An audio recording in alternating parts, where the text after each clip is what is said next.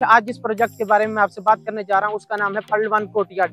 जी हाँ नाजरीन पलवन कोटियाड। अगर पलवन कोटियाड के डेवलपर्स की बात करें तो इसके डेवलपर हैं एबीएस डेवलपर एबीएस डेवलपर जिनके सीईओ का नाम डॉक्टर सवैयल इकराम साहब और इनके मैनेजिंग डायरेक्टर का नाम डॉक्टर हम्बल इकराम साहब है।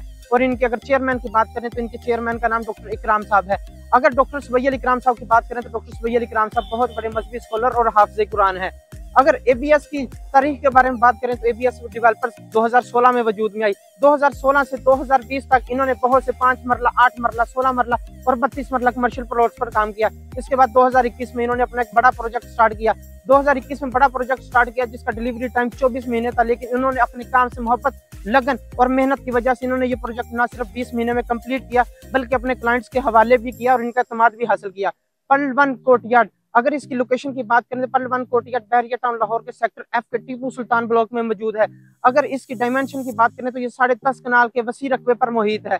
अगर पलवन कोट यार्ड की ऊंचाई की बात करें तो ये साढ़े तीन सौ फुट से ज़्यादा ऊंचाई पर मौजूद है। अगर इसके फ्लोर प्लान की बात करें तो इसमें तीन बेसमेंट पार्किंग मौजूद है। इसके साथ साथ बेस ग्राउंड फ्लोर से सिक्स फ्लोर तक कमर्शियल मौजूद है, जिसमें 200 से ज़्यादा मल्टीनेशनल ब्रांड साइन अप करेंगे और अल्हम्दुलिल्लाह अभी तक 40 से ज़्यादा मल्टीनेशनल ब्रांड साइन अप कर भी चुके हैं। अगर इसके सेवंथ फ्लोर की बात करें तो इसके सेवंथ फ्लोर पर कोर्ट यार्ड बनने जा रहा है, जिसमें कॉन्फ्रेंस हॉल मस्जिद सोना स्पा जिम इस तरह की बड़ी खसूसियत और सहूलियात देखने को मिलेंगी, जो कि जरूरियत ज़िंदगी और लग्जरी लाइफस्टाइल की अलामत भी है।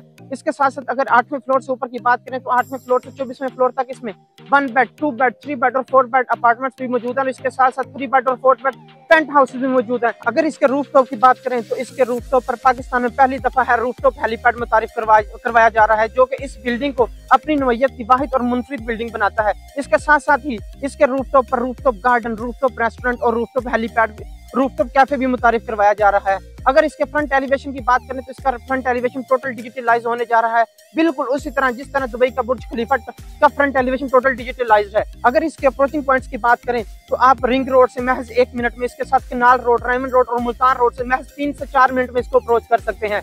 अगर इसकी सराउंडिंग की बात करें तो Bahria town international school and college just इससे दस सेकंड की मुसाफत पर मौजूद है। जी हाँ दस मिनट की मुसाफत पर मेन बुलेवार्ड 150 फिट रोड इसके दूसरी तरफ़ मौजूद है। इसके साथ साथ विंटरलैंड जैसे बने monument Eiffel tower Bahria town grand मस्जिद जो कि बहरियाटन लाहौर में मौजूद है दुनिया की सातवीं बड़ी मस्जिद है, ये भी इसके सराउंडिंग में मौजूद है। तो देर ना करें, अभी इस ऑफ़र से फ़ायदा उठाएँ। या फिर नीचे दिए गए नंबर पर रब्ता करें, या हमारा ऑफ़िस विज़िट करें। दुआ में याद रखिएगा। अल्लाह हाफिज।